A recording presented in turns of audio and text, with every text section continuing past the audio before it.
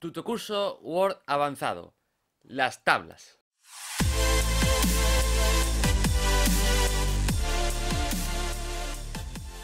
Hola a todos, ¿qué tal? Eh, bienvenidos un día más al lunes de Tutocursos. Eh, hoy, pues como he dicho al principio del vídeo, vamos a introducirnos en Word nivel avanzado. ¿Qué vamos a aprender hoy? Vamos a ver cómo podemos trabajar con tablas y sus diferentes propiedades. Comencemos. Hoy, para empezar, os voy a explicar qué es una tabla. Pues una tabla son cuadros de doble entrada. Tienen filas y tienen columnas. ¿Vale? Si nos vamos aquí a insertar tabla, tiene sus filas y sus columnas. ¿Vale? Eh, ¿Para qué nos puede servir una tabla? Pues podemos hacer un cuadro eh, semanal o un listado de teléfono o, cualquier otra cosa que se te pueda ocurrir o, o puedas necesitar.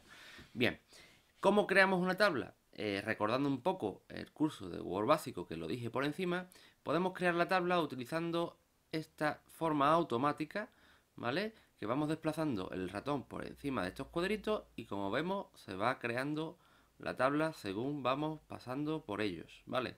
O bien podemos insertar una tabla de esta otra forma, ¿vale? Diciéndole en este menú eh, que sea abierto al pinchar insertar tabla, pues configurando sus columnas y sus filas. Eh, podemos configurar también su ancho de forma automática o por centímetros. ¿Vale? Como queráis. Vamos a hacerlo así, por ejemplo. ¿Vale? Y tenemos una tabla que tiene tres filas y seis columnas.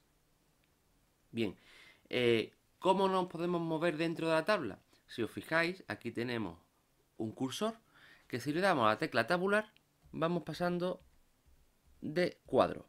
Y así, cuando terminemos el último cuadro de la fila, pasa al siguiente, a la siguiente fila. ¿Vale? Y así con todos. ¿Habéis visto lo que ha pasado? Estaba aquí en esta última celda, le he dado a tabular y él solo ha creado una fila nueva y se ha posicionado aquí. Fijaos, voy a ponerme aquí al final de esta fila nueva, ¿vale? Y le voy a dar una vez a tabular. Ahí está. Tenemos una fila nueva y se posiciona en la nueva primera casilla. Bien, ¿qué podemos hacer con las tablas? Pues podemos modificar lo que son las medidas de las filas en la columna. ¿Cómo se hace? Pues con el ratón nos movemos hasta esta línea, por ejemplo, que separa esta columna de esta otra y cuando salga esta, eh, este símbolo, ese cursor que cambia con una flecha hacia la izquierda y otra a la derecha, pinchamos y sin soltar desplazamos hacia la izquierda o hacia la derecha, según pues nos convenga, ¿vale? Y así con cualquiera de ellas, ¿vale? Incluso con la principal, si nos ponemos aquí, podemos también hacer lo mismo con la primera eh, línea vertical. Y con la última, lo mismo. ¿Vale? Eh, para las filas, pues igual. ¿Vale? Podemos pinchar y arrastrar. ¿Vale? Y se mueve el tamaño de la fila. Bien. ¿Qué más podemos hacer con las tablas? Podemos configurar sus bordes y, y ¿no? ¿Cómo? Con la herramienta de tabla que tenemos aquí arriba. Eh, así que recordad que esta pestaña herramienta de tabla aparece automáticamente cuando estamos trabajando con tablas. Si no tenemos tabla o no está seleccionada la tabla en nuestro documento, esta pestaña eh, no aparecerá. Pues en la subpestaña diseño eh, podemos, como su palabra indica, cambiar el diseño de lo que es nuestra tabla y darle diferentes formatos como sombreados, color, estilo de borde, etcétera, ¿vale?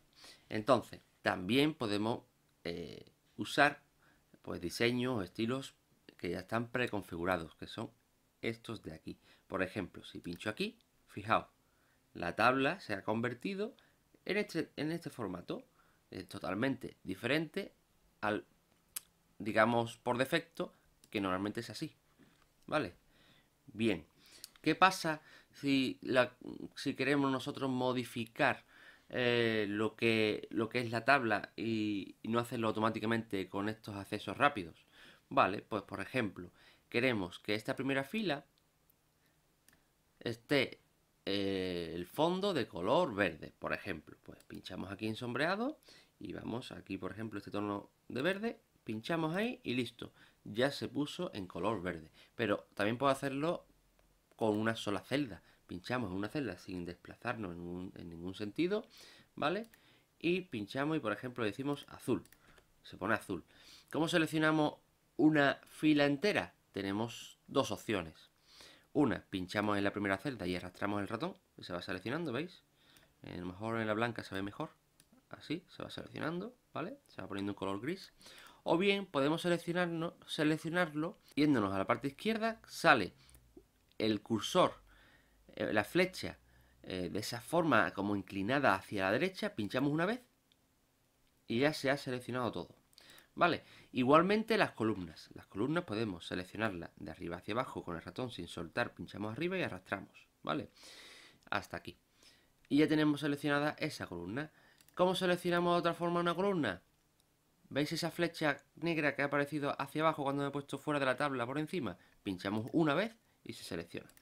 ¿Qué pasa si queremos seleccionar toda la tabla? Pues pinchamos eh, cualquier casilla y desplazamos hacia cualquier sitio, hacia fuera de la tabla sin soltar ratón y se selecciona la tabla completa. ¿Vale? ¿Qué otra forma tenemos para seleccionar la tabla completa? ¿Veis esta cruceta de aquí? Pinchamos ahí una vez y se ha seleccionado la tabla completa. Eh, todo lo que hagamos con la selección completa de la tabla en diseño, pues podemos, eh, lo que hacemos es eh, configurar toda la tabla completa y no solamente una fila o una columna. Por ejemplo, estilos de bordes. Aquí tenemos diferentes colores preestablecidos y diferentes estilos. Por ejemplo, queremos que la, que la raya que separa una celda con otra, en vez de que sea una línea uniforme, que sean dos. Pinchamos ahí hemos configurado el estilo y ahora en bordes pinchamos ahí y le decimos que todos los bordes sean así, ¿vale? Y fijaros, como tenemos toda la tabla seleccionada, ¿eh? ese estilo que hemos configurado y después, y después le hemos dicho que el borde sea así para todos los bordes, pues todos los bordes se han puesto. ¿Qué ocurre si le damos otra vez a todos los bordes? Que si pinchamos otra vez en todos los bordes, lo que hacemos es que eliminamos todos los bordes.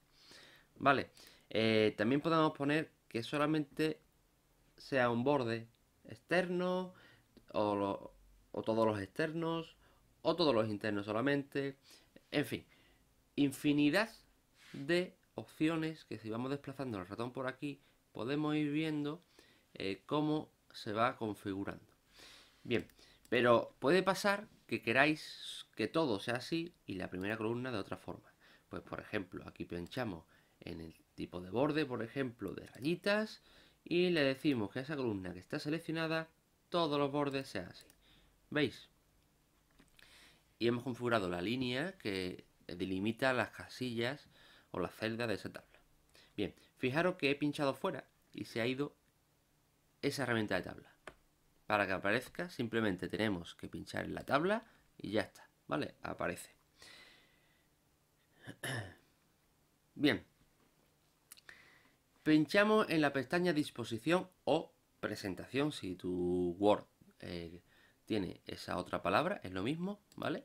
Y aparecen pues estas herramientas que vamos a usarla para eh, configuración del texto dentro de, de la tabla, eh, configuración o añadir o quitar columnas, filas, etcétera.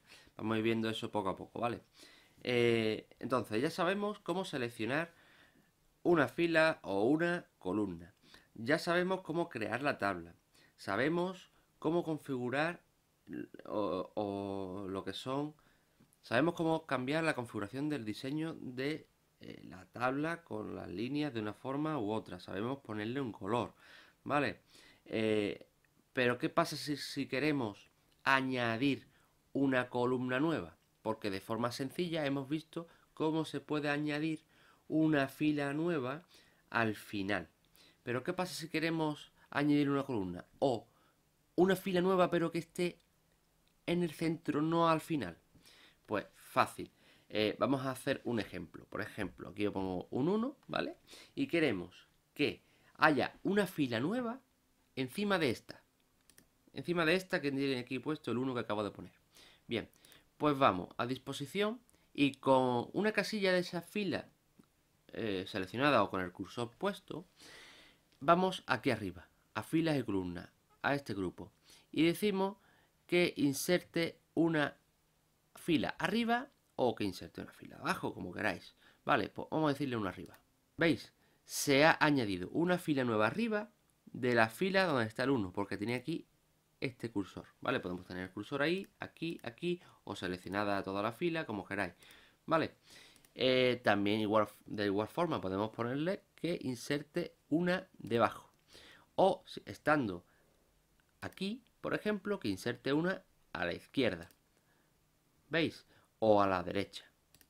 Y fijaros lo que ha pasado.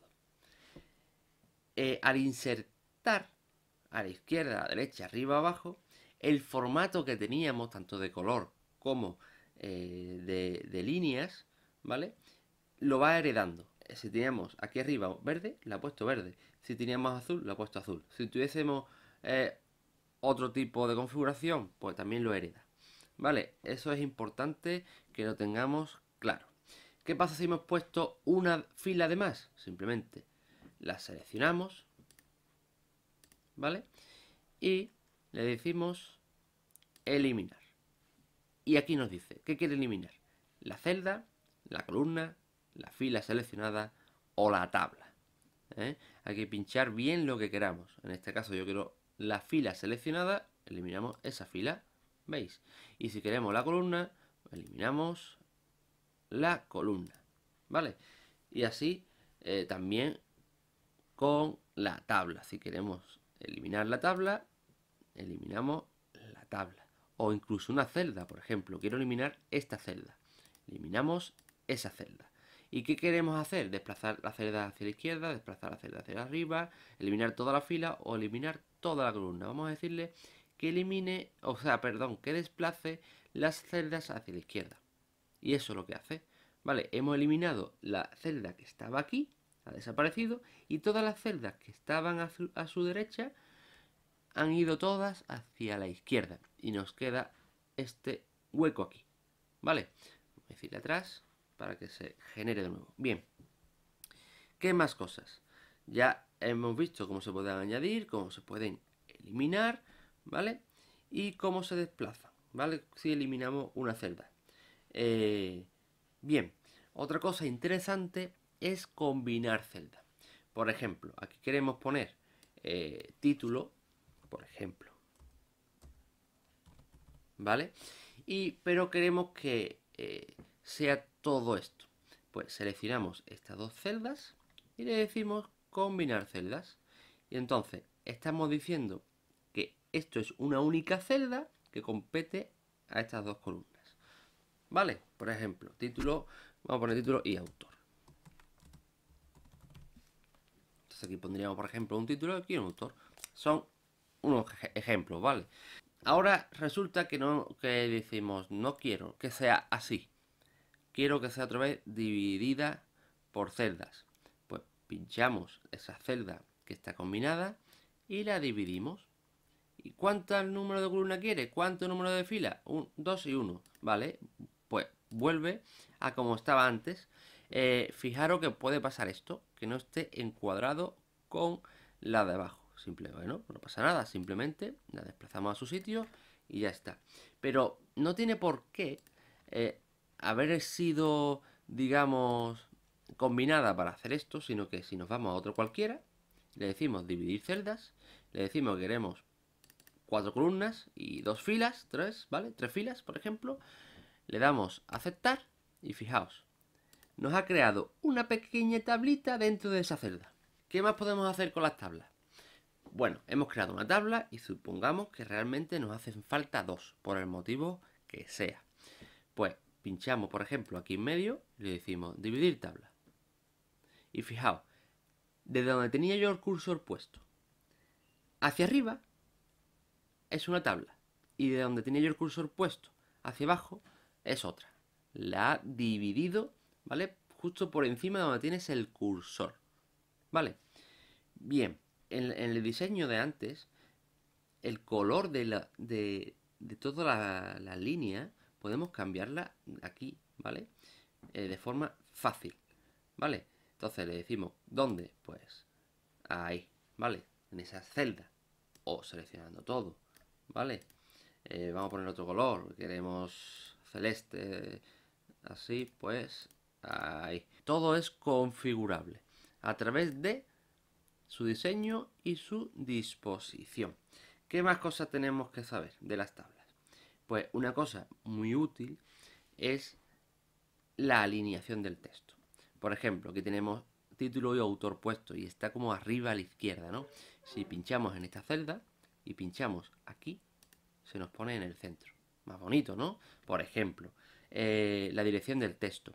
Normalmente siempre lo leemos así, pero podemos cambiar la dirección del texto para que esté así o para que esté así, ¿vale? Eh, según lo que nosotros queramos.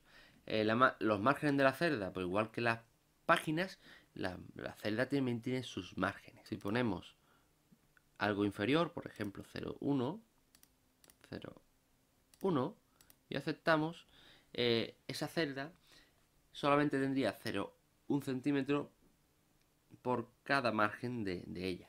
¿Vale? Los estilos de la tabla no solamente están lo que vemos aquí, podemos ir bajando y vemos muchos otros estilos. Por ejemplo, esta tabla que voy a seleccionar, vamos a ponerle este estilo. Fijaos. Bien, y lo último que vamos a ver hoy es eh, cómo hacemos eh, muchas cosas de, configuración de tabla de otra forma diferente. Y es dándole propiedades a la tabla. ¿Cómo? Pinchamos en la tabla, botón derecho, ¿vale? Y aquí tenemos propiedades de tabla. Bien, aquí se nos abre un menú y eh, es importante saber qué tenemos aquí. la primera pestaña de tabla tenemos esto, ¿vale? Ajustamos a la izquierda, a la derecha, en el centro, ninguno, alrededor. Y eso es porque cuando queramos insertar una tabla eh, dentro de un texto, para que se configure con el texto abajo, la tabla a la izquierda. Con el texto abajo, la tabla en el centro o a la derecha. ¿Vale? Ninguno. Eso significa que nosotros vamos a poder poner la tabla desplazándola donde queramos y alrededor es que el texto se va a poder, pues como viene aquí en el ejemplo, escribir alrededor. ¿Vale? Eh, lo demás son configuraciones básicas de las filas, ¿eh? columnas, de las celdas y de texto alternativo, que nosotros podemos ponerle título y descripción a lo que es la tabla. ¿Vale? Por ejemplo, vamos a ponerle aquí librería. ¿Vale? Le damos a aceptar y esta tabla internamente lo que ha hecho es que tiene el nombre de librería, que para indexarla y demás, pues para después sea más fácil para las personas con problemas cognitivos o de visión eh, para que pueda ver mejor ese objeto o pueda interpretarlo. Vale, podemos ponerle un título y la descripción de que contiene esa tabla. Vale. Bien, pues hasta aquí todo lo que tendríamos que ver sobre tablas en la clase de hoy. Llegado a este punto, eh, seguro que con un poco de práctica eh, podéis hacer pues cualquier trabajo con tablas. Vale, eh, para llegar a tener esa práctica os voy a dejar en la descripción del vídeo, pues como vídeos anteriores de Tudo Cursos, archivos para hacer ejercicios, ¿vale?